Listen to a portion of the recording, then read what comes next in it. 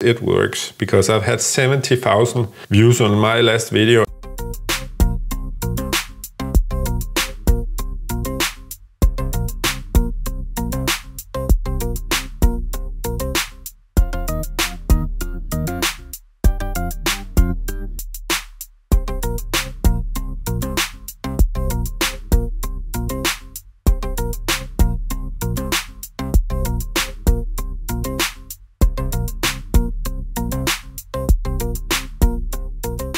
And now for the Icy box enclosure. Actually, it's just like a little box for the um, for the SSD hard drive, and you have USB-C in one end, or at least in my case I have.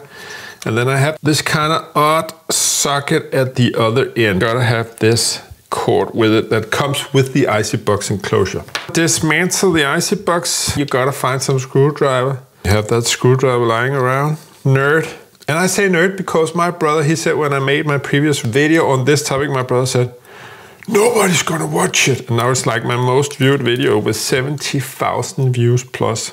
So I guess uh, a lot of you are nerds out there in my brother's opinion, but he's an old geezer, even more old than I am. Put this one into here. It's super easy. There are some slides doing exactly this. So that's basically it connected to the computer, of course. The fastest port of your computer. That is this one. In my particular case, is the lightning one. And now as you can see here, it's empty. That's just superb. We're in the Macrium Reflect and you've chosen this one and then you choose clone this disk. Oh, there I have my new disk to clone to. Unfortunately, you can't really tell, but it is, as it is the same size I'm cloning to just for this demonstration purpose. But it will work. And of course, the purpose on your, for your part would be to clone to a bigger hard disk, but I'll just show you that it will work. You can open the more detailed partition properties dialog by selecting a partition on the destination, then clicking layout. You can precisely set the partition size by using the partition size entry box, or resize the partition automatically by clicking maximum size or minimum size. Let's say we remove the recovery partition so that you can see that it actually works. There. Now we know on our clone we will not have a recovery partition. That is of course not advised. but uh, let's just do that so we can see the difference.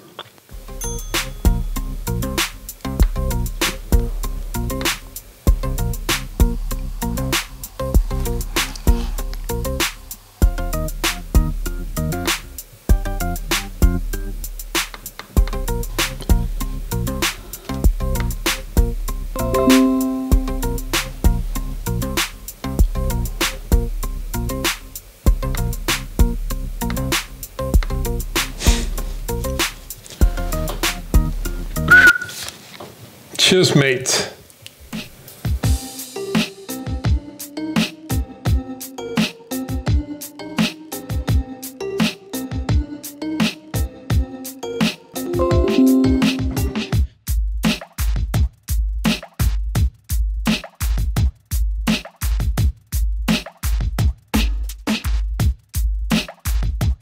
And when the operation have succeeded, then of course you just unscrew it and put it into your computer. That's the ballsy maneuver, of course. So first thing you gotta do is, of course, you gotta pry the cabinet open and I bought like these from the music store. Actually, I'm an old musician, so I haven't bought them, but I've just had them lying around.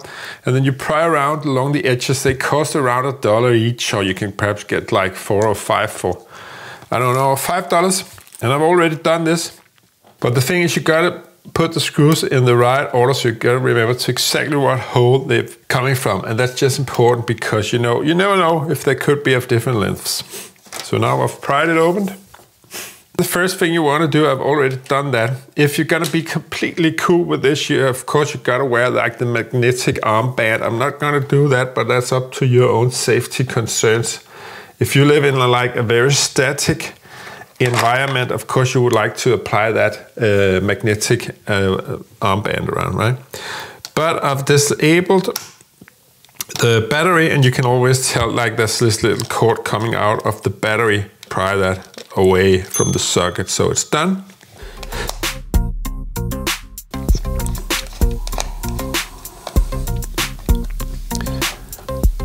And if you don't have all these kind of screws, uh, screwdrivers lying around, you can buy them typically very cheap also at your local store, this kind of stuff. Or wait till you get old and then you have all these kind of useless screwdrivers lying around.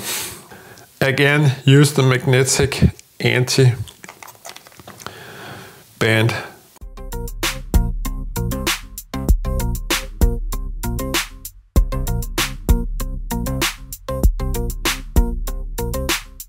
That's a good thing. You can actually use the SD enclosure as a backup.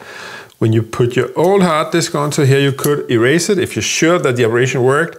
And then you have a backup external hard drive that you can use from the SSD Icy box.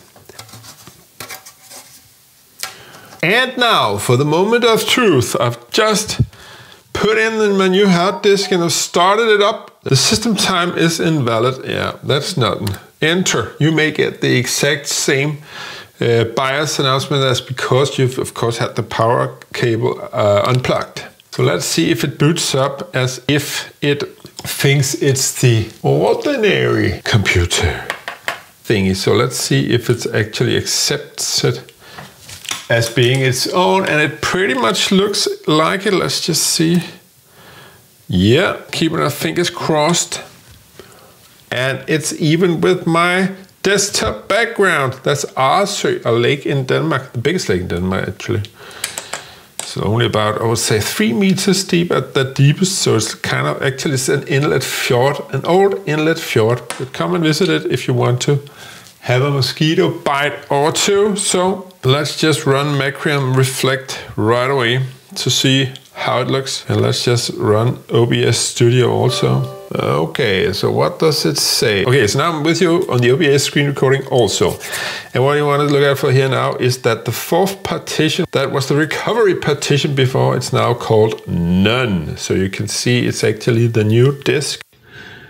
And all the other things looks uh, exactly the same. Let's just check and see, for instance, our uh, documents folder, if that looks like what I would have in here. Yeah, it looks very much like that. Success! My name is Brian from Denmark, you're a tech fan. Please remember to leave a like if this operation was also successful for you. See you in the next one.